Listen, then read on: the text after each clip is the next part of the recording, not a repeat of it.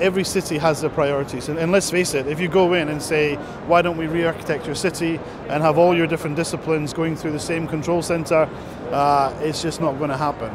Uh, at the end of the day, you know, these organizations have their day to day lives. So what we have to do is solve problems. And that problem might be sort of water leak detection, um, as we have over in our stand today. Um, uh, so a lot of water being lost. Uh, we're losing about 25 to 50 percent of water in a lot of cities uh, in Europe because we've got very old pipes. Um, it could be about bus timing and finding the best route to pick up uh, users.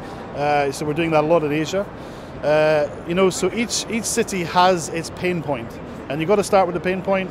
Otherwise, there's no money. We're doing things in terms of transportation, traffic control. We've just done a project with an expressway at 950 points in the road, we're measuring every 30 seconds, you know, pollution, uh, traffic speed, uh, the weather, you name it. You've got to be able to process that data very quickly and you've got to be able to store it so that you can take advantage of it when you're planning uh, your future infrastructure.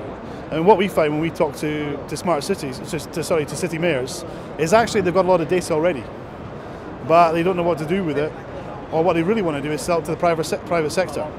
So what we're doing is helping them to have the sort of intelligent infrastructure to have a digital city, so they can pull all the information in from all the sensors, to, you know, understand energy consumption, uh, pollution, noise levels, and then be able to give that to the private sector for them to exploit.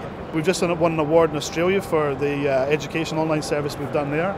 Um, we're doing smart energy projects, and you know, a lot of areas in the city have uh, power overconsumption uh, issues. So we have battery technology that in the future we can use um, to provide caches of energy to smooth out the peaks and troughs.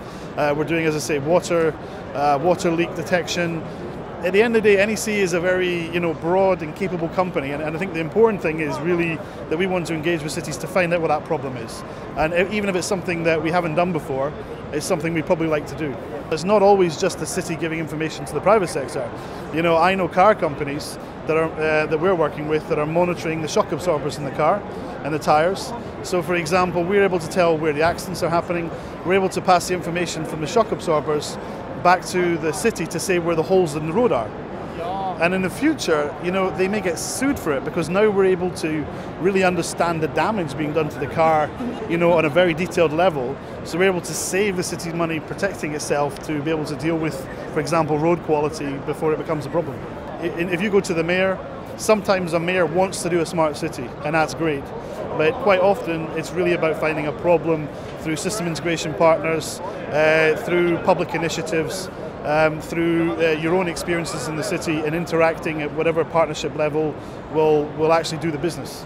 Because you know, there's, there's no golden money, there's no golden check that says we need to have smart cities. It's one problem at a time.